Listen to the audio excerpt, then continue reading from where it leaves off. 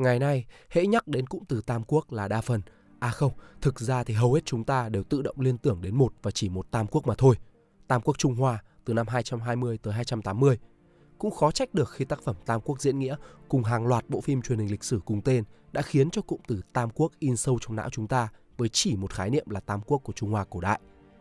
À, nhưng dĩ nhiên bài viết này không nói về Tam Quốc Trung Hoa. Tôi chỉ mượn nó là mở bài mà thôi. Bài viết này sẽ giới thiệu với mọi người về một Tam Quốc khác – không phải thuộc lịch sử Trung Hoa mà thuộc lịch sử Triều Tiên. Trong khuôn khổ bài viết này, tôi sẽ giới thiệu một cách sơ bộ và tóm lược nhất có thể về thời kỳ Tam Quốc trong lịch sử Triều Tiên, kéo dài từ năm 57 trước công nguyên đến năm 668 sau công nguyên. Mặc dù kéo dài hơn Tam Quốc Trung Hoa rất nhiều, nhưng chắc chắn Tam Quốc Triều Tiên sẽ khó mà hấp dẫn hay lôi cuốn như bên Trung Quốc được. Nhưng nếu xét riêng trong lịch sử Triều Tiên thì đây vẫn là một thời kỳ khá hấp dẫn và thú vị. Thời kỳ tiền Tam Quốc 1 sự sụp đổ của vương quốc Gojoseon. Trước thời kỳ Tam Quốc, trên bán đảo Triều Tiên lúc bấy giờ gồm nhiều quốc gia lớn nhỏ khác nhau. Theo Tam Quốc Di Sự, bộ sách được biên soạn vào thế kỷ 13 chép về các thần thoại, truyền thuyết của đất nước thì trong số các quốc gia ở trên bán đảo lúc bấy giờ, vương quốc Gojoseon, cổ Triều Tiên, được coi là vương quốc quan trọng nhất trong việc định hình nên đất nước. Không phải do Gojoseon có lãnh thổ lớn nhất hay mạnh nhất về quân sự – mà là do nền văn hóa của bán đảo Triều Tiên hầu hết đều là di sản từ nền văn hóa của Gojoseon. Tuy vậy Gojoseon thành lập bao giờ, có bao nhiêu đời vua thì sử liệu chính thống không thực sự ghi chép rõ ràng nên chỉ có thể coi số liệu từ các truyền thuyết để xác định. Tam Quốc Di sự chép rằng Gojoseon được thành lập vào năm 2333 trước công nguyên bởi Dangun Wanggeom. Theo truyền thuyết, một người con trai của thiên đế đã hạ phàm, dùng phép thuật để biến một con gấu thành một người phụ nữ và thụ thai cho nó. Con gấu, à quên, người phụ nữ, sau đó đã hạ sinh một đứa bé, chính là Dangun sau này, người thành lập vương quốc Triều Tiên. Tên gốc của vương quốc là Triều Tiên, nhưng sau này các sử liệu đều sửa lại thành cổ Triều Tiên để phân biệt với triều đại Triều Tiên sau này. Cũng theo Tam Quốc Di Sự, thì vua Dangun ở ngôi đến gần 1.500 năm, đến khoảng năm 1122 trước công nguyên. Một người tên là Cơ Tử đã dẫn 5.000 người rời Trung Quốc, lúc này đang là triều đại nhà Thương và đến Gojoseon. Cơ Tử sau này trở thành vua Gojoseon đây là hình ảnh bản đồ bán đảo Triều Tiên vào năm 108 trước công nguyên. Gojoseon có lẽ cũng đã được nhắc đến trong sử liệu Trung Quốc từ thế kỷ 7 trước công nguyên nhưng không rõ ràng lắm, cho đến những ghi chép của thế kỷ 4 trước công nguyên. Trong tác phẩm Sử ký của nhà sử học Tư Mã Thiên, ông cũng đã chép rằng Gojoseon đã tồn tại từ đầu thế kỷ 2 trước công nguyên. Vì vậy Gojoseon thực sự tồn tại như là một vương quốc từ lúc nào thì khó mà kiểm chứng được, nhưng chắc chắn là nó đã là một vương quốc vào khoảng thế kỷ 3 trước công nguyên, vì cư dân của các nước Tề, Yên, Triệu không chịu nổi ách thống trị của nhà Tần nên đã chạy sang Gojoseon và sinh sống ở vùng Tây Bắc Vương quốc. Lúc này ở Gojoseon đang là triều đại của vua Junwang, chuẩn vương. Đến đầu thế kỷ thứ hai trước công nguyên, Vệ Mãn, một vị tướng nước Yên đã dẫn hơn 1.000 bộ thuộc chạy sang Gojoseon và được vua Junwang cử đến chấn thủ miền Tây Bắc. Ở đây thì Vệ Mãn đã bắt đầu xây dựng lực lượng của riêng mình và đến năm 194 trước công nguyên thì Vệ Mãn kéo quân về kinh thành, lật đổ vua Junwang và lên ngôi vua. Vua Junwang chạy xuống nước Jin và tị nạn tại đó. Ông lập một tiểu quốc và tự xưng là Hàn Vương – sau khi Jun Wang chết, tiểu quốc này sát nhập vào nước Jin. Về phần vệ mãn, ông lên ngôi vua Gojoseon và triều đại của ông kéo dài độ gần 90 năm, đến khi Gojoseon bị Hán Vũ Đế thôn tính năm 108 trước công nguyên. Sau khi sụp đổ, Gojoseon bị chia làm 4 quận là Lạc Lãng, Chân Phiên, Huyền Thổ và Lâm Đồn. Nhưng sau đó chính quyền nhà Hán tại bốn quận này liên tiếp gặp phải sự chống đối của nhân dân Gojoseon và cuối cùng đến năm 82 trước công nguyên thì nhân dân nổi dậy đấu tranh, buộc quân Hán rút khỏi ba quận và chính quyền nhà Hán chỉ còn giữ được một vài vùng của quận Lạc Lãng mà thôi. 2. Thời kỳ tiền Tam Quốc Sau khi Gojoseon bị nhà Hán thôn tính thì các quốc gia còn lại trên bán đảo cũng rơi vào tình trạng chia cắt. Phần phía bắc của bán đảo và vùng Mãn Châu chia cắt và trở thành các vương quốc như Bueyo, Phú Dư, Goguryeo, Cao Câu Ly, Okieo, Ốc Trở, Dongye, Đông Uế và một vài vùng lãnh thổ nhỏ. Trong số các vương quốc này, Goguryeo dần nổi lên và trở thành một thế lực mạnh mẽ, dần chinh phục các quốc gia láng giềng, cuối cùng thu lại được lãnh thổ của Gojoseon trước đây vào năm 314 sau công nguyên. Goguryeo được coi là thành lập năm 37 trước công nguyên, dù có một vài ghi chép nói rằng nó được thành lập từ năm 75 trước công nguyên, thậm chí ngay đầu thế kỷ 2 trước công nguyên. Ở phía Nam, nước Jin thì chia làm ba vùng lãnh thổ là Jin Han, Thìn Han, Biên Han, Biện Hàn và Ma Han, Mã Hàn. Ba vùng lãnh thổ này gọi chung là Tam Hàn, dù sau này có đôi lúc cụm từ Tam Hàn cũng dùng để chỉ ba vương quốc trên bán đảo Triều Tiên vào thời kỳ Tam Quốc. Trên vùng lãnh thổ của Ma Han, vương quốc Ba Kie, Bách Tế được thành lập năm 18 trước công nguyên và dần thu được hầu như tất cả lãnh thổ của Ma Han. Trên lãnh thổ Chin Han, 6 bộ tộc đã thành lập một liên minh và rồi sau đó dẫn đến sự thành lập của vương quốc Shila, Tân La. Shila được cho là thành lập năm 57 trước công nguyên, dù lúc đó nó chưa thật sự là một nhà nước thống nhất với các đặc điểm giống như Ba Kie hay Goguryeo. Bien Han thì phát triển thành liên minh của các bộ tộc Gaia, Già Gia và sau này bị Shila thôn tính. Bởi các điều này diễn ra liên tục, một số sử gia coi Tam Quốc bắt đầu từ khoảng thời gian sau khi Gojoseon sụp đổ, song cả ba quốc gia đều đã không thực sự thống trị bán đảo như những vương quốc cho tận đến khoảng những năm 300 sau công nguyên. Đây là hình ảnh các vương quốc trên bán đảo thời kỳ tiền Tam Quốc. 2. Thời kỳ Tam Quốc Thời kỳ kéo dài từ năm 57 trước công nguyên, năm mà được coi là năm Shila thành lập, đến năm 668 sau công nguyên. Năm mà Goguryeo sụp đổ trước liên minh đường Shila được gọi là thời kỳ Tam Quốc. Cụm từ này lần đầu được sử dụng trong bộ Tam Quốc Sử Ký, bộ sử liệu thành văn đầu tiên của Triều Tiên được biên soạn bởi học giả Kim Bushik dưới triều vua Cao Ly Nhân Tông và hoàn thành năm 1145. Sau thời kỳ Tam Quốc là thời kỳ Nam Bắc Quốc với quốc gia Shila thống nhất ở phía Nam và vương quốc Balhe, Bột Hải ở phía Bắc. Tam Quốc, đúng như cái tên, là thời kỳ mà ba quốc gia lớn mạnh nhất ở bán đảo là Goguryeo, Baekje và Shila cát cứ, kìm kẹp lẫn nhau, đồng thời xâm chiếm và thu phục các quốc gia và lãnh thổ nhỏ bé hơn bên cạnh.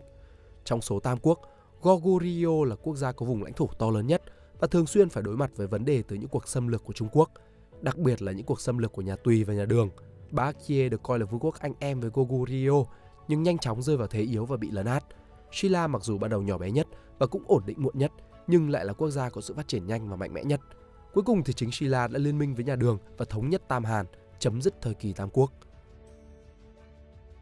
1. Vương quốc Goguryeo, Cao Câu Ly Thành lập Theo Tam Quốc Sử Ký, một hoàng tử của vương quốc Buio đã buộc phải rời bỏ đất nước vì cuộc tranh chấp ngai vị giữa các hoàng tử Buio. Ông là người đã thành lập vương quốc Goguryeo vào năm 37 trước công nguyên, tại vùng đất Jonpon nằm giữa sông Áp Lục và sông Tongchia. Ông chính là Gojumong, vị vua đầu tiên của Goguryeo, về sau được tôn là Đông Minh Thánh Vương, Dong Myung Wang. Một số ý kiến khác lại cho rằng Goguryeo đã được thành lập ngay từ thế kỷ 2 trước công nguyên. Hán thư chép rằng cái tên Cao Câu Ly, tức Goguryeo trong tiếng Hán, đã được nhắc đến từ năm 113 tại quận Huyền Thổ, một trong bốn quận được nhà Hán lập nên sau khi Hán Vũ Đế thôn tính Goyoseon. Cựu đường thư thì chép lại rằng vua Đường Thái Tông có lần đã nói rằng Cao Câu Ly có lịch sử độ 900 năm. Ngoài ra cũng có ý kiến cho rằng Goguryeo đã được thành lập năm 75. Ngoài ra cũng có ý kiến cho rằng Goguryeo đã được thành lập năm 75 trước công nguyên. Bởi vì cũng vào năm đó, một nhóm cư dân của bộ tộc Yemek đã tấn công vào quận Huyền Thổ và trong số đó có thể là có cả người của Cao Câu Ly. Tuy thế, các ghi chép từ cựu đường thư, tân đường thư, tam quốc sử ký hay thậm chí cả Nhật Bản thư kỷ cũng đều chép rằng Goguryeo được thành lập năm 37 trước công nguyên hoặc sớm hơn một chút, vào giữa thế kỷ 1 trước công nguyên. Các bằng chứng khảo cổ học cũng khẳng định rằng các bộ tộc Yemek đã thống nhất và tập trung lại từ thế kỷ 2 trước công nguyên, nhưng không có bằng chứng để cho rằng họ được gọi hoặc tự gọi mình là người Goguryeo. Việc dân cư của Goguryeo có cả người Yemek được nhắc đến chính xác lần đầu tiên trong Hán thư là vào năm 12 trước công nguyên, khi có một cuộc nổi dậy đòi ly khai khỏi quận Huyền Thổ. Khi mới thành lập, dân cư của Goguryeo chủ yếu là người từ vương quốc Buyeo và người từ các bộ tộc Yemek. Vì vậy, rất có thể một thành viên hoàng tộc của Buyeo đã đào thoát sang nơi này rồi trở thành thủ lĩnh các bộ tộc Yemek và rồi kiến lập Goguryeo. Điều này trùng với những ghi chép hay truyền thuyết về vị vua đầu tiên của Goguryeo là Gojumong. Về phần Gojumong, ông được nhắc đến lần đầu tiên là trong ghi chép từ tấm bia Quảng Khai Thổ được dựng bởi Trường Thọ Vương, Jiang Suwang, con trai của Quảng Khai Thổ Thái Vương, Wang Geto Thawang, để ghi công lao của vua Wang Geto trong việc mở rộng đất nước. Tấm bia ghi rằng Gojumong là con trai của vua Buio là Geungwa với phu nhân Yuwa theo Tam Quốc Sử Ký và Tam Quốc Di Sự. Tuy nhiên vua Guemwa chỉ là cha nuôi của Jumong, còn cha ruột ông là Hemosu, một anh hùng của Buio.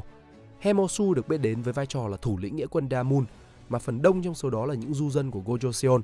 Đội quân này được lập ra với mục đích ngăn chặn sự xâm lấn và đô hộ của nhà Hán, cứu thoát các du dân ra khỏi sự áp bức.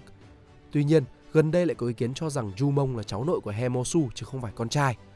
Jumong là người thông minh, giỏi võ nghệ, nhất là bắn cung. Chính điều này đã dấy lên sự ganh ghét của thế tử Buio là Daeso, khiến Daeso âm mưu hãm hại Jumong. Jumong may mắn thoát nạn, sau đó ông trốn khỏi Buio. Tuy vậy, về xuất thân thực sự của Jumong thì tấm bia và các sử liệu sau này không trùng khớp nhau. Tấm bia Quảng khai thổ chép rằng Jumong đến từ Bukbuyo, Bắc Phù Dư, còn Tam Quốc Sử Ký cũng như Tam Quốc Di Sự lại chép rằng Jumong đến từ Đông Buio. Đông Phù Dư. Dù thế, các chi tiết sau đó thì lại giống nhau. Chu Mông lưu lạc đến vùng đất Jobon, kết hôn với Soseono, con gái của thủ lĩnh vùng Jobon. Cuộc hôn nhân này có ảnh hưởng rất lớn với Chu Mông, vì nó đã cho ông cả tài lực lẫn vật lực để sau đó thành lập Goguryeo. Trong Tam Quốc Sử Ký, phần bãi kia bản kỷ chép rằng Soseono là con gái của Yon Taban, một quý tộc giàu có và hùng mạnh ở Jolbon. Tuy nhiên, Soseono không phải vợ đầu tiên của Jumong mà là vợ thứ hai.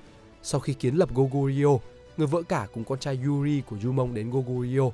Yuri sau đó kế vị Jumong và trở thành Yuri Myeongwang, Lưu Ly Minh Vương, còn Soseono cùng hai con trai khác là Biryu và Onio rời Goguryeo xuống phía nam để thành lập quốc gia mới, về sau chính là vương quốc Baakie.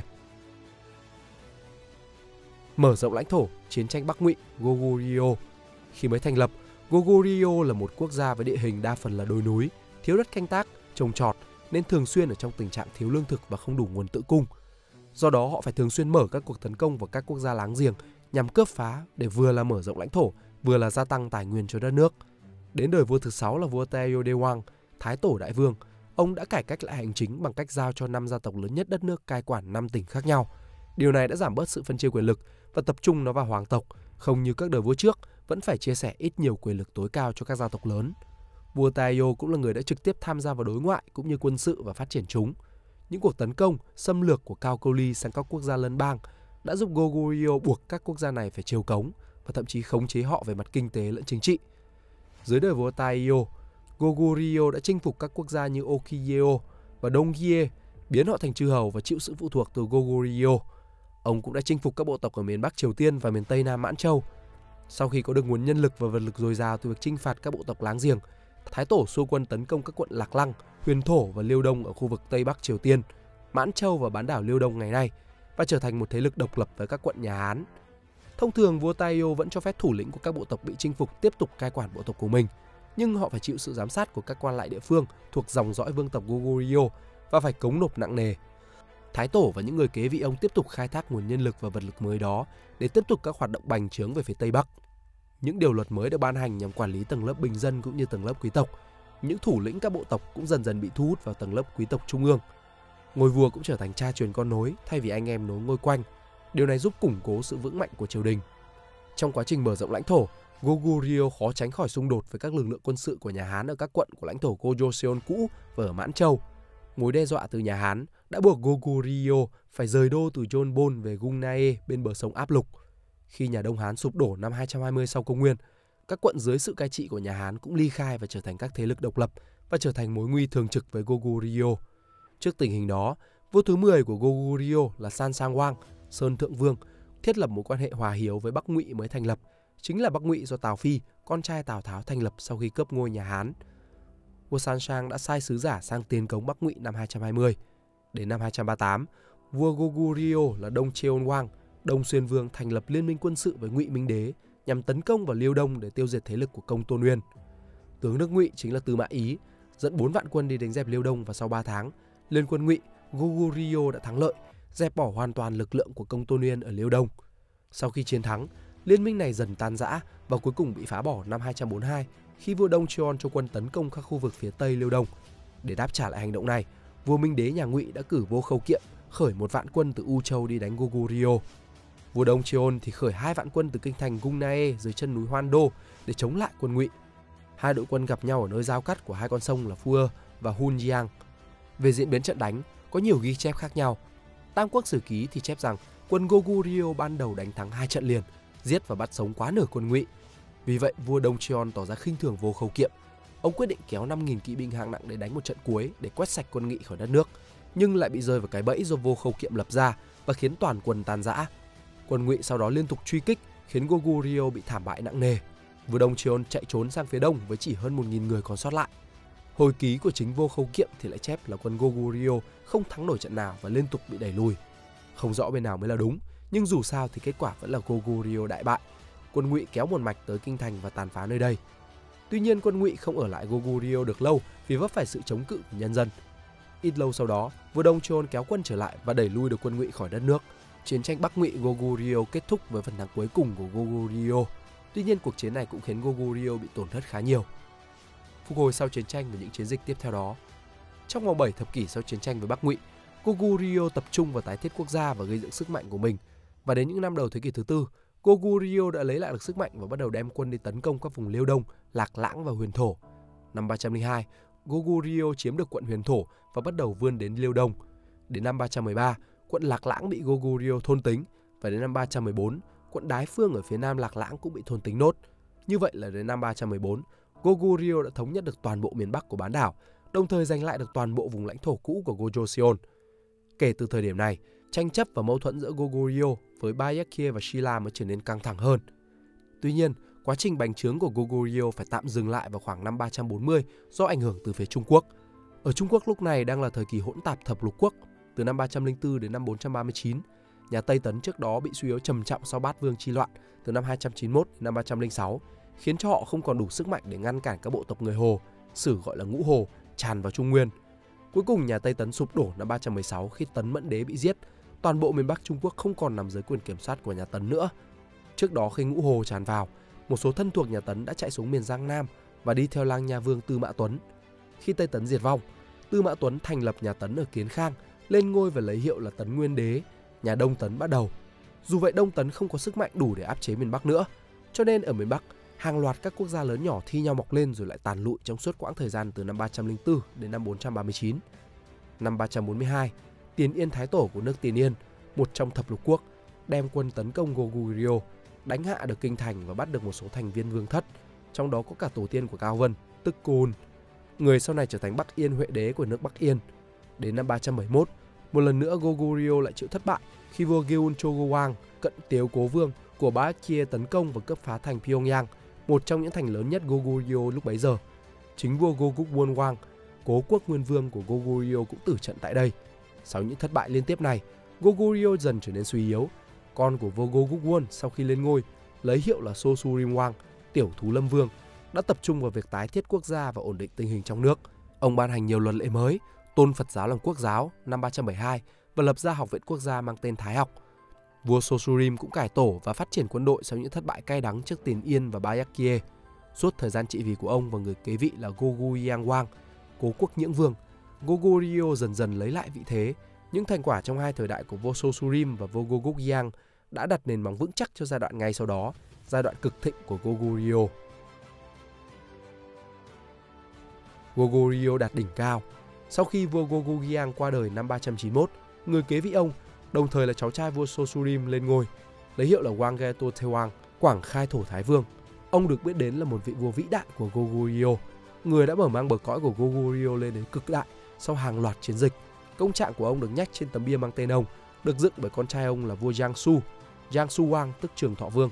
Trên đó ghi chép rằng trong cuộc viễn chinh đến Buio, ông đã chinh phạt 64 thành trì và 1.400 làng mạc. Ngoài ra ông còn đánh bại nước Hậu Yên, xâm chiếm lãnh thổ của các bộ tộc Buio, Mạt Hạt, khuất phục Baekje, làm tan rã liên minh Gaia Shila và biến Shila thành chư hầu của mình. Vì điều này, bán đảo Triều Tiên tạm thời được thống nhất, dù khá lỏng lẻo trong suốt nửa thế kỷ. Dưới thời vua Wang Gaeto, Goguryeo mở rộng lãnh thổ đến cực đại, kiểm soát 2 phần 3 lãnh thổ bán đảo, hầu hết vùng Mãn Châu, một phần lớn nội Mông và thậm chí có cả một phần lãnh thổ nước Nga. Đây là hình ảnh lãnh thổ Goguryeo thời điểm rộng lớn nhất.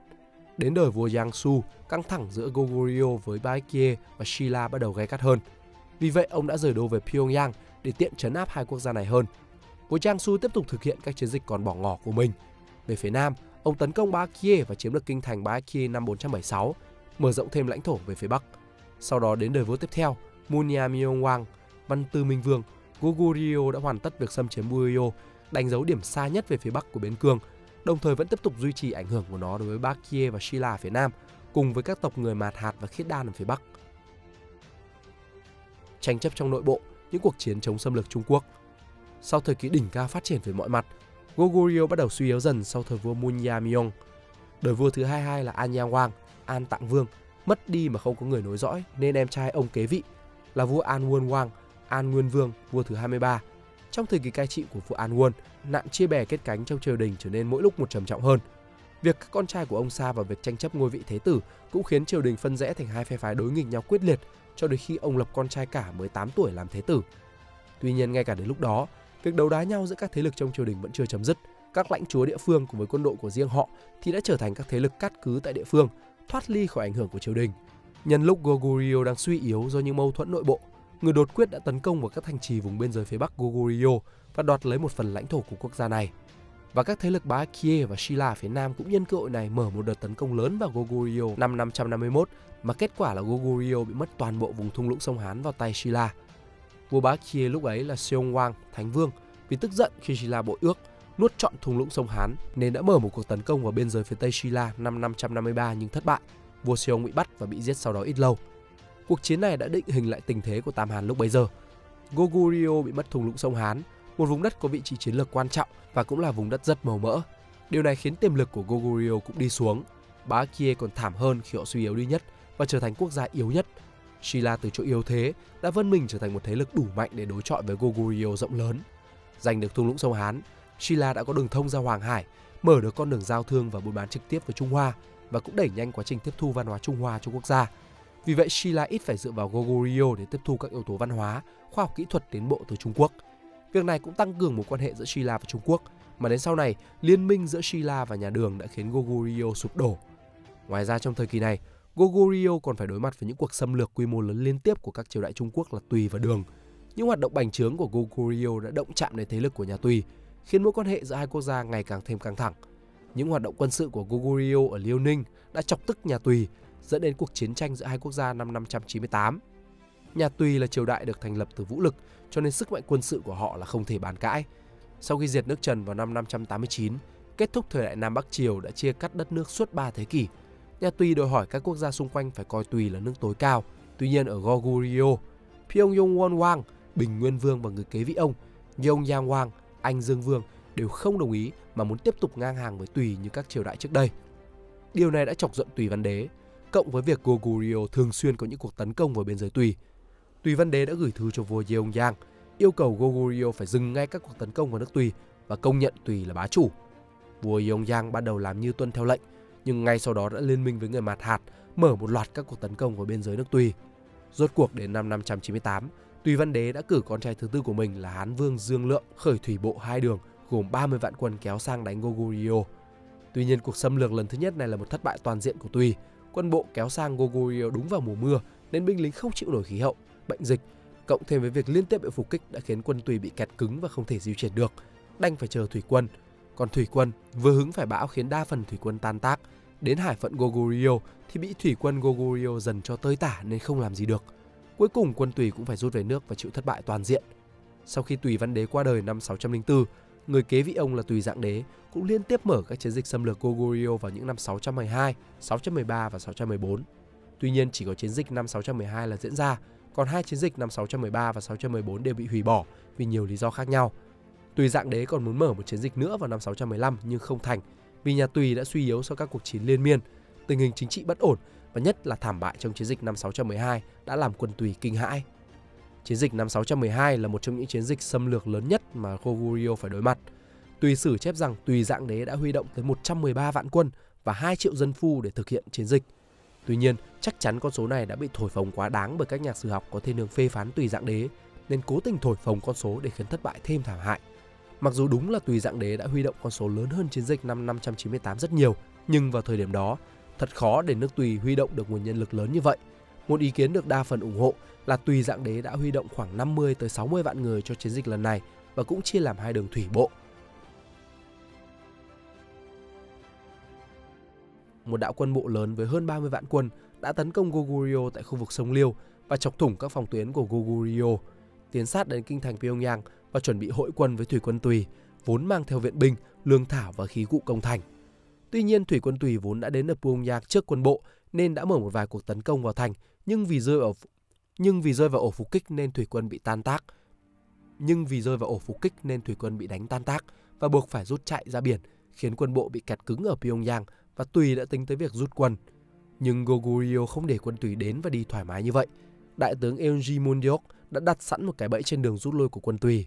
Ông xây đập ngăn nước sông Shansu lại, làm như để cho quân Tùy thuận lợi rút qua nhưng khi binh lính nhà Tùy đang qua sông, ông lệnh cho phá đập xả nước xuống, nhấn chìm hàng ngàn quân và chia cắt đạo quân Tùy làm hai. Đến lúc đó, Eunji mới tung đạo kỵ binh của Goguryeo vào và quét sạch những binh lính còn đang hoảng loạn. Đại quân nhà Tùy gần như bị quét sạch hoàn toàn. Sử chép lại rằng chỉ có gần 3.000 người chạy được về nước đúng là một thảm bại đau đớn. Những cuộc chiến tranh liên miên đã khiến nước Tùy bị suy yếu nghiêm trọng, cộng với sự độc đoán, tàn bạo của Tùy dạng đế nên đã khiến nền móng của đế chế Tùy lung lay đến tận gốc rễ. Nhà Tùy bị diệt năm 618 và được thay thế bởi nhà Đường của Thái Tông Lý Thế Dân. Với nhà Đường, để tránh nguy cơ bị xâm lược lần nữa, vua Yong Niu Wang, Vinh Lưu Vương áp dụng chính sách thần phục nhà Đường một cách khá triệt để. Tuy rằng quả thật Goguryeo có được yên ổn với Trung Quốc, nhưng chính sách này đã khiến một số đại thần tỏ ra không vừa lòng, đặc biệt là quyền thần Yeon Sumun. Mâu thuẫn giữa hai phe ủng hộ và phản đối thần phục nhà Đường ngày càng lên cao, cuối cùng dẫn tới việc vua Yeongniu mưu giết Geo Sumun không thành năm 642. Sau đó ông bị Geo Sumun phế bỏ và giết hại, và cháu họ của ông lên thay, tức là vua Boyang Wang, Bảo Tạng Vương. Chính sách đối ngoại của Goguryeo chuyển từ thần phục sang đối nghịch với nhà Đường. Nhà Đường cũng lấy cớ trả thù cho vua Yeongniu, khởi quân xâm lược Goguryeo. Năm 645, Đường Thái Tông đích thân kéo 20 vạn quân tràn vào xâm lược Goguryeo và liên tiếp hạ được những thành trì nằm ở biên giới. Tể tướng Gaeso muốn quyết định tập hợp đại quân gồm 15 vạn quân chống trả với quân đường một trận lớn. Tuy nhiên Goguryeo thất bại nặng nề trong trận chiến đó, hai vạn quân bị giết và gần 4 vạn bị bắt sống. Gaeso muốn buộc phải rút về Pyongyang. Quân đường kéo tới thành Ansi, chốt chặn cuối cùng chắn giữa họ với kinh thành Pyongyang. Chỉ là một thành nhỏ với 5.000 quân do tướng Yang Manchun chấn thủ. Dù thế, quân đường xa lầy ở đây tới gần 3 tháng mà không hạ được thành. Đến mùa đông năm 645, lương thực gần cạn mà thành Ansi chưa hạ được. Quân đường có ý định lui quân thì đến khi ấy, Geosumun đem đại quân từ Pyongyang tới chi viện và đập tan quân đường. Cuộc xâm lược của nhà đường thất bại. Sau khi Thái Tông qua đời năm 649, đường Cao Tông tiếp tục thực hiện một vài cuộc xâm lược nữa vào năm 661 và 662, nhưng tiếp tục thất bại do Goguryeo vẫn còn tể tướng Geosumun. Tuy nhiên, những cuộc chiến liên miên đã góp phần làm suy yếu Goguryeo, cộng với việc các con của Geosumun tranh giành quyền lực càng khiến Goguryeo trở nên bất ổn về nhiều mặt. Hơn nữa, đồng minh của Goguryeo lúc này là Baekje đã bị liên minh đường Shila tiêu diệt hoàn toàn năm 660, nên Goguryeo ở giữa gọng kìm của hai thế lực. Năm 666, Geosumun qua đời, đến lúc này không gì có thể cản nổi việc Goguryeo sụp đổ được nữa. Goguryeo sụp đổ. Năm 660, liên minh đường Shila tấn công vào thôn tính Baekje, đồng minh của Goguryeo và liên tiếp tấn công uy hiếp Goguryeo những năm sau đó. Khi Geosumun mất năm 666, dường như số mệnh của Goguryeo đã đến lúc tàn. Quân đường và quân Silla tấn công từ hai mặt. Quân đường đánh từ phía bắc xuống, nhanh chóng vượt qua Liêu Ninh và hạ được kinh thành Pyongyang. Quân Silla từ phía nam đánh lên và tướng Kim Yushin nhanh chóng bắt Goguryeo phải đầu hàng. Cuối cùng vào tháng 11 năm 668, vua Boyang của Goguryeo bị bắt sống và đưa đi đầy sang Trung Quốc. Vương quốc Goguryeo chính thức sụp đổ và sát nhập vào Silla. Vương quốc Goguryeo thành lập năm 37 trước công nguyên, kéo dài đến năm 668 sau công nguyên Trải qua 28 đời vua với 705 năm lịch sử, cuối cùng đã sụp đổ.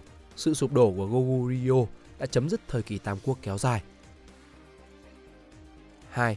Vương quốc Bá kia Bách Tế Thành lập mở rộng Theo Tam Quốc Sử Ký, người sáng lập ra vương quốc Bá kia là Ôn Yo Wang, Ôn Tộ Vương năm 18 trước công nguyên. Ông đã dẫn một đoàn người từ Goguryeo đến vùng bồn địa sông Hán và lập quốc ở đây. Còn Tam Quốc Chí của Trung Quốc lại chép rằng một trong số các bộ tộc vùng Ma Han có tên là Bá kia cũng theo Tam Quốc Sử Ký, Onjo là con trai thứ ba của vua Chu Mông nước Goguryeo. Sau khi con trai cả của Chu Mông là Yuri lên ngôi, Onjo cùng người anh của mình là Biryu rời Goguryeo cùng với mẹ là hoàng hậu Soseono. Onjo quyết định định cử ở thành Wiryeseong và gọi quốc gia của mình là Shipye, còn Biryu chọn thành Michuhon, mặc cho các chư hầu phản đối.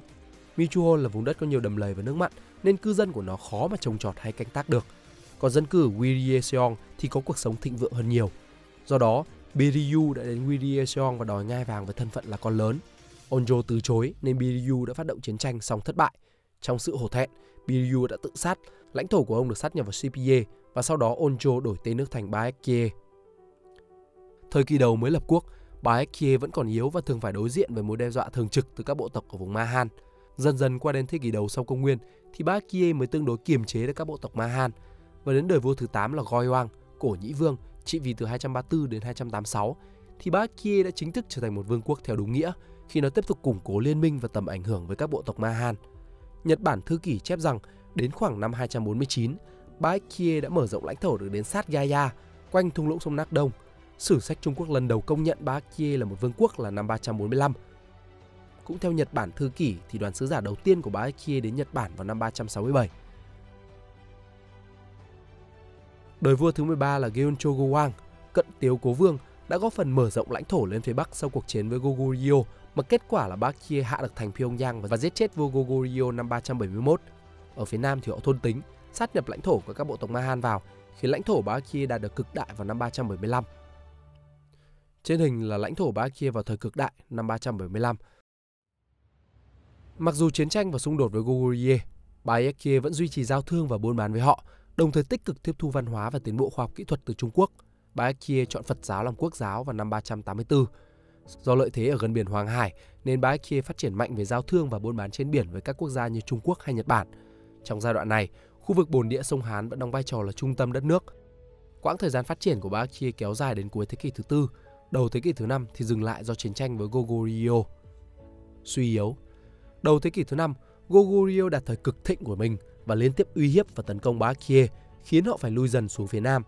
Đến năm 475, kinh thành Bá Kia rơi vào tay Goguryeo, vua thứ 21 của Bá Kia là Gerowang, cái lỗ vương, cũng tử trận tại nơi đây. Khu vực này bị Goguryeo đoạt lấy. Người kế vị vua Gairo là Munju Wang, Văn Chu Vương, rời đô về thành Ungjin, một thành nằm ở vùng núi, biệt lập với bên ngoài nhằm củng cố sức phòng thủ với những cuộc tấn công của Goguryeo. Hơn nữa, thời gian này Bá Kia liên minh với Shila nên thành Ungjin rất thích hợp để làm kinh đô do nó gần Shila hơn thành Ryeseong trước đây. Đến năm 538, vua thứ 26 của Bá Kia là Seong Wang, Thánh Vương, cho rời đô đến Sabi, một nơi thoáng đãng và thích hợp hơn để phát triển đất nước. Ông cũng đổi tên nước thành Nam Buyo, Nam Phù Dư để ám chỉ nguồn gốc Bá Kia là từ Buio mà ra. Tuy nhiên cách gọi cũ Bá Kia vẫn thông dụng hơn và vẫn được sử dụng như trước đây. Thời kỳ này Bá Kia không có nhiều phát triển về quân sự hay mở rộng được lãnh thổ, nhưng lại là thời kỳ văn hóa phát triển nhất, đồng thời ngoại thương, buôn bán cũng phát triển hơn. Liên minh Bá Kia và Shila chấm dứt vào năm 551 sau khi họ tấn công và chiếm được thung lũng sông Hán của Goguryeo. Shila bội ước nuốt trọn vùng này nên khiến vua Seong nổi giận và kéo quân gây chiến vào năm 553. Tuy nhiên Bá Kia thất bại, vua Seong bị bắt và bị giết ít lâu sau đó. Bá Kia từ lúc này trở đi không còn sự phát triển nào đáng kể mà ngày càng suy yếu. Bá Kia sụp đổ.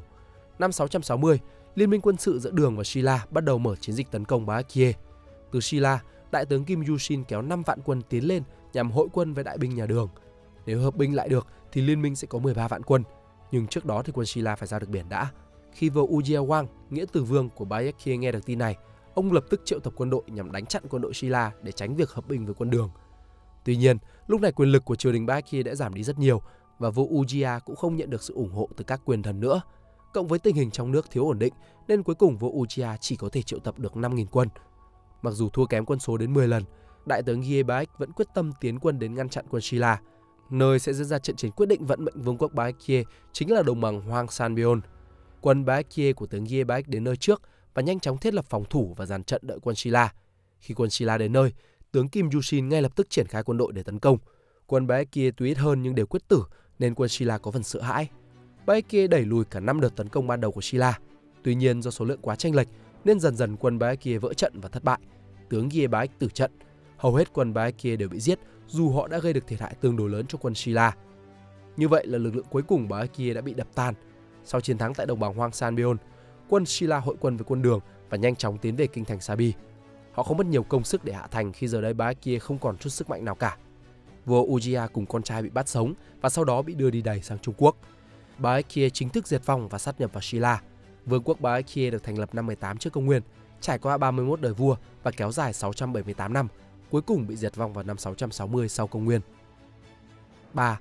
Vương quốc Shila, Tân La Thành lập trong số cả ba vương quốc thì có thể có Shila được thành lập sớm nhất khi liên minh giữa 6 bộ tộc cùng Jin Han đã thành lập trước cả khi vua Chu Mông lập quốc Goguryeo. Tuy nhiên, thực tế mà nói thì lúc ấy Shila chưa được coi là một quốc gia thống nhất về hình thể nhà nước và quyền lực tập trung. Quyền lực của người đứng đầu Shila luân phiên thay đổi giữa ba gia tộc kế nhau là gia tộc Park, gia tộc Seok và gia tộc Kim. Lúc ban đầu, Shila có tên gọi là Saroguk, từ Lô Quốc, là liên minh giữa các bộ tộc của vùng Jin Han. Theo Tam Quốc Di Sự và Tam Quốc Sử Ký, người đứng ra thành người đứng ra thành lập nên vương quốc Shila là Park Kyoseogan của gia tộc Park vào năm 57 trước công nguyên. Tuy nhiên rất có thể ngay từ trước đó đã có một hình thái nào đó của một vương quốc xuất hiện, nhưng còn quá sớm và quá sơ khai để được gọi là một quốc gia đúng nghĩa. Mãi cho đến thế kỷ 2 sau công nguyên, Shila vẫn chỉ được coi là một tiểu quốc trong số các tiểu quốc thuộc Chin Han mà thôi. Dù nó là tiểu quốc mạnh nhất, nhưng thực tế thì nó vẫn chưa thống nhất được các bộ lạc Chin Han. Điều này về cơ bản giống như tình trạng của Bayakie. Những người đứng đầu Silla ban đầu không xưng là Wang, vương như Goguryeo hay Baekje, mà họ xưng là Isagium, tiếng Triều Tiên cổ, nghĩa là người cai trị. Đến đời vua Naimun, nại vật từ năm 356 đến 402 thì xưng là Maripkan, nghĩa là lãnh tụ hoặc vĩ đại, có thể có liên hệ với tước vị Khan, hãn của Mông Cổ. Đến đời vua Jijeong, trí chứng từ năm 500 đến 514 thì các vua Shila mới dùng danh xưng Wang, tức vương như Goguryeo hay Baekje, mở rộng lãnh thổ, thống nhất Tam Hàn. Đến đời vua Naimun, ở Shila cơ bản đã hình thành nên chế độ quân chủ kế vị, loại bỏ hệ thống nắm quyền luân phiên, tập trung được quyền lực cho triều đình và người lãnh đạo đổi sang tước vị Maribkan. Đến thời vua Beopheung Tewang, Pháp Hưng Thái Vương thì Phật giáo chính thức trở thành quốc giáo của Shila. Quãng thời gian này, Shila liên tiếp mở các chiến dịch thu phục và sát nhập Gaya, mở rộng biên giới sang phía tây đến vùng bồn địa sông Nác Đông. Đời kế vị của vua Beopheung là Jin Heung Tewang, chân hưng Thái Vương, sức mạnh quân sự của Shila tăng lên đáng kể và đỉnh cao là chiến dịch tấn công Goguryeo vào năm 551 đã giúp Shila thu về được vùng thung lũng sông Hán màu mỡ và gia tăng lãnh thổ đáng kể. Shila vào lúc này đạt cực đại của nó trong suốt thời kỳ Tam Quốc, kiểm soát hoàn toàn phần phía đông của bán đảo. Vua Jin Heung cũng là người thành lập ra hệ thống các hoa rang, những chiến binh trẻ tuổi có nguồn gốc quý tộc, nòng cốt cho lực lượng quân sự của Shila. Đây là hình ảnh lãnh thổ của Shila khi ở cực đại. Ngoài ra, Shila cũng là quốc gia duy nhất trong Tam Quốc có đến 3 vị nữ vương, đó lần lượt là Seong Deok Yeowang, Thiện Đức Nữ Vương từ năm 632 đến năm 647, Jin Deok Yeowang, Chân Đức Nữ Vương từ năm 647 đến 654 và cuối cùng là Jin Seong Yeowang, Chân Thánh Nữ Vương từ năm 887 đến năm 897 của Silla thống nhất. Từ đời vua Jin Heung đến đời của nữ vương Jin Seong, Silla tập trung củng cố sức mạnh, ổn định tình hình để chuẩn bị cho công cuộc thống nhất Tam Hàn của vua Taeyong Mueyon Wang, Thái Tông Vũ Liệt Vương từ năm 654 đến 661, người đã mở đầu cho việc thống nhất bán đảo. Giữa thế kỷ thứ bảy, Shila ngày càng trở nên mạnh mẽ, trong khi Goguryeo suy yếu vì những cuộc chiến tranh liên tiếp với nhà Tùy và nhà Đường. Còn Baekje thì vốn đã suy yếu ngay từ giữa thế kỷ thứ sáu rồi, dù Baekje vẫn thường xuyên quấy rối ở biên giới Shila và thậm chí từng gây tổn hại khá nặng. Nhưng nhìn chung lúc này Shila là quốc gia có tiềm lực mạnh nhất trong cả ba. Vua Taeyong sau đó thiết lập liên minh với nhà Đường và đến năm 660 thì chinh phục được Baekje. Đến năm 668, dưới thời vua Mun Muang, Văn Vũ Vương thì chinh phục nốt Goguryeo, đồng thời thống nhất được Tam Hàn. Tuy nhiên, liên minh với đường Cao Tông cũng có cái giá của nó. Shila mặc dù thu phục được cả Goguryeo vẫn Baekje nhưng lại để mất phần phía bắc bán đảo và toàn bộ vùng Mãn Châu vào tay nhà Đường. Hai vùng này sau đó phát triển thành một vương quốc mới tên là Ban Hae, cùng với Shila tạo nên cục diện Nam Bắc Triều. Ngoài ra, nhà Đường còn ngang nhiên thành lập An Đông đô hộ phủ trên đất Triều Tiên, coi như bán đảo này là đất của nhà Đường và định chia quận huyện để cai trị như với Gojoseon ngày xưa.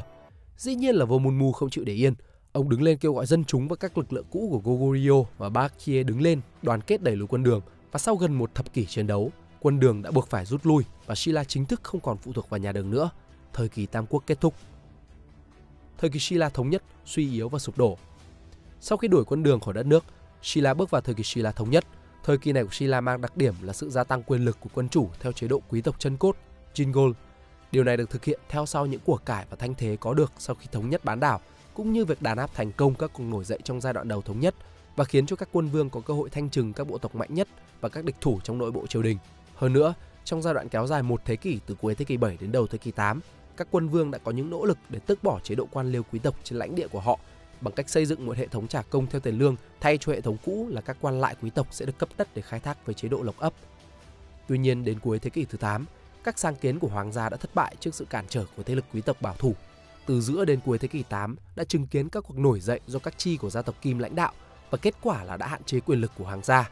Nổi bật trong số này là cuộc khởi nghĩa do Kim Daegong lãnh đạo với thời gian lên đến 3 năm, một bằng chứng quan trọng cho sự sói mòn của quyền lực quân vương là hủy bỏ hệ thống chức điền và tái lập hệ thống lộc ấp có lợi cho tầng lớp quý tộc vào năm 757.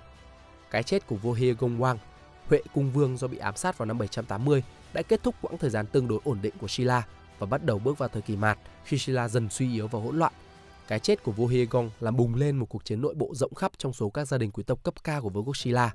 Với cái chết của vua Hiegong, trong những năm còn lại của Shila, quân vương đã bị mất nhiều quyền lực về tay các gia đình quý tộc hùng mạnh và dẫn đến việc triều đình không kiểm soát nổi thế lực địa phương nữa. Giai đoạn cuối của vương quốc được gọi là hậu Tam Quốc, khi liên tiếp các thế lực đứng lên tự thành lập các quốc gia kế thừa của các vương quốc cũ như hậu Bá Baekje và hậu Goguryeo. Lãnh thổ của Shila bị chia cắt và trở nên nhỏ bé. Cuối cùng Shila bị Goryeo, Cao Ly thu phục vào năm 935, chấm dứt 992 năm của vương quốc Shila với 56 đời vua. 3. Thời kỳ hậu Tam Quốc Khoảng một thế kỷ rưỡi cuối của Shila là thời kỳ loạn lạc lại nổi lên khắp nơi. Shila bị chia cắt và rơi vào hỗn loạn bởi các vấn đề phát sinh từ sự lệ thuộc vào chế độ cốt phẩm một hệ thống tầng lớp cứng nhắc mà theo đó chỉ có những người xuất thân quý tộc mới có thể được bổ nhiệm vào vị trí cấp cao. Hệ thống này đã bị lạm dụng như một phương tiện để giúp hoàng tộc chiếm ưu thế chính trị và điều này đã gây nên nhiều bất ổn. Tầng lớp quý tộc địa phương đã tăng cường quyền thế của mình trong thời kỳ này bằng cách tập hợp quân đội của riêng mình và cát cứ khắp nơi. Sức mạnh của triều đình Shila suy yếu đến mức không thể ngăn cản quá trình này và đành chịu để mặc cho các thế lực cát cứ chia cắt đất nước. Không chỉ có hỗn loạn trong chính trị với những cuộc đấu đá nội bộ, mà tình hình kinh tế của Shila cũng rất bi đát.